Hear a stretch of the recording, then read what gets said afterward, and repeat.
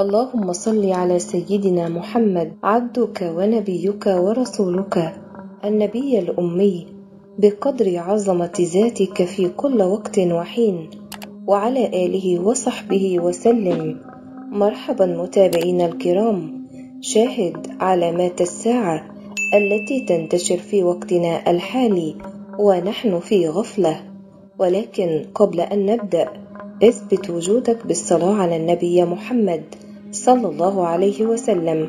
ولا تنسى الاشتراك بالقناة والإعجاب بالفيديو ليصلك منا كل جديد بإذن الله.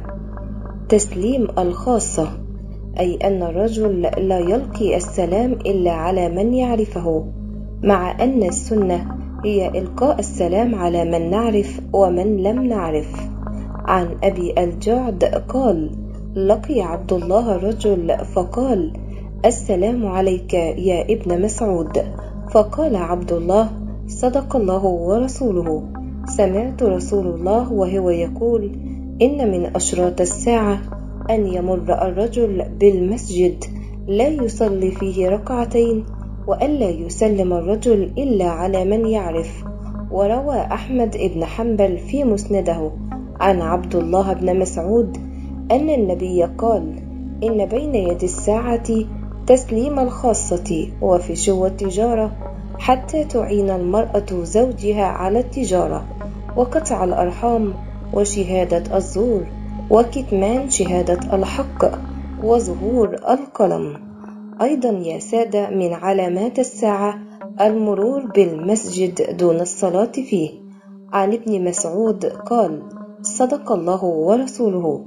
سمعت رسول الله وهو يقول إن من أشراط الساعة أن يمر الرجل بالمسجد لا يصلي فيه ركعتين وألا يسلم الرجل إلا على من يعرف. أيضا في شو التجارة.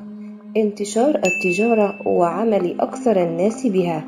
عن عمرو أن رسول الله قال إن من أشراط الساعة أن يفشو المال ويكثر وتفشو التجارة ويظهر الجهل ويبيع الرجل البيع فيقول لا حتى أستأمر تاجر بني فلان ويلتمس في الحي العظيم الكاتب لا يوجد. مشاركة المرأة زوجها في التجارة من علامات الساعة. فعن عبد الله بن مسعود أن النبي قال إن بين يدي الساعة تسليم الخاصة وفشو التجارة؟ حتى تعين المرأة زوجها على التجارة وأيضا من علامات الساعة المنتشرة في وقتنا. قطع الأرحام. فعن عبد الله بن عمرو أن النبي قال لا تقوم الساعة حتى يظهر الفحش والتفاحش وقطيعة الرحم. شهادة الزور.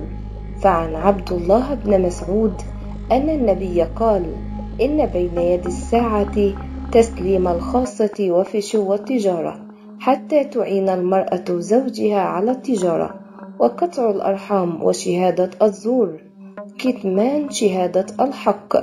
عن النبي صلى الله عليه وسلم أنه قال إن بين يدي الساعة تسليم الخاصة وفشو التجارة حتى تعين المرأة زوجها على التجارة وقطع الأرحام وشهادة الزور وكتمان شهادة الحق. تمني الموت.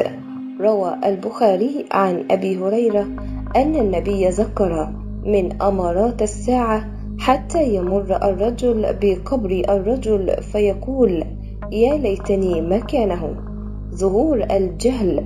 أخبر النبي أنه مع اقتراب الساعة سيظهر الجهل وينتشر. فقد قال إن بين يدي الساعة لأياما يرفع فيها العلم وينزل فيها الجهل. وفي رواية إن بين يدي الساعة لأياما يرفع فيها العلم ويفشو فيها الجهل. وقال كذلك يأتي على الناس زمان لا يدري فيه ما صلاة ما صيام ما صدقة. هلاك الوعول وظهور التحوت. موت أشرف الناس وعقلائهم ثم يظهر التاحوت وهم جهال الناس.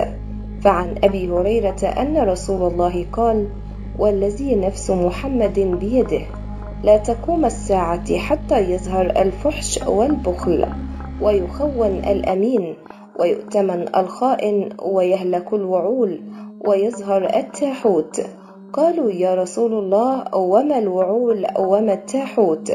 قال الوعول وجوه الناس وأشرافهم والتاحوت الذين كانوا تحت أقدام الناس لا يعلم بهم.